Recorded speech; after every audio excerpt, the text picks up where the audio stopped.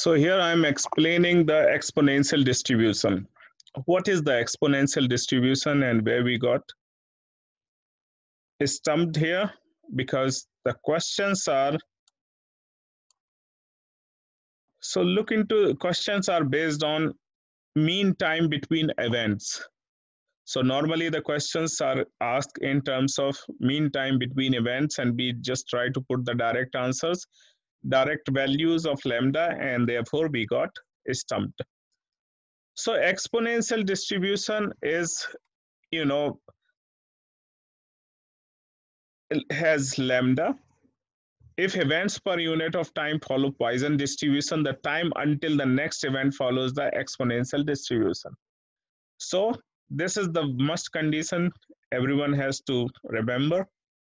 So until the next time event is continuous variable. Now look into this. At the comment section at the bottom, bottom waiting time is exponential when arrives, arrivals follow a Poisson model. Often 1 by lambda is given mean time between events rather than lambda. The value of E is this. So normally in question, what is given? Mean time between events and not the lambda. So 1 upon lambda is mean time between events. So just this thing you have to remember in order to do that. Again, the question is also this x value is less than equal to x, which is this side, left side, and x value is greater than x is this side on the right hand side. So if suppose we get, you know, less than equal to, we subtract with one and we get the answer like we used to do. So this question is again between mean time, you know, between 2, 4, 2 p.m. to 4 p.m., the, the rate of calls are 2.2 calls per minute. So what would be the lambda in this case? Eh, very simple. Lambda would be 1 divided by 2.2 and that is how we got 4, 4.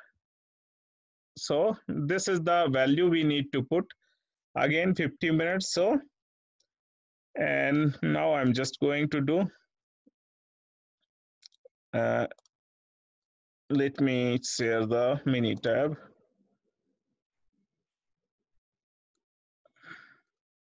so if i go under calculate probability distribution and we have exponential distribution. So this is a cumulative because it is asking more than less than so the scale is 0.4545. Why me threshold always put zero. Input constant is 0.5. And now look, we always can get less than or equal value, less than or equal value. So point, this value is less than. Now we are interested in greater than x value, greater than.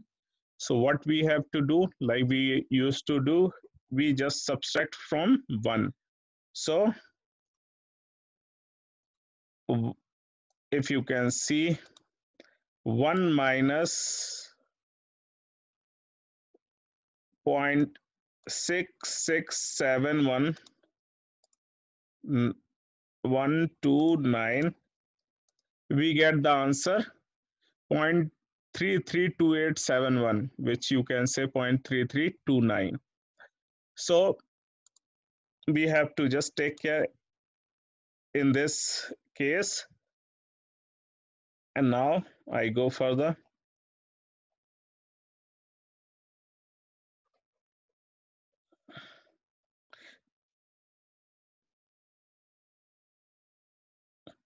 So this is this is the slide we have to keep in mind.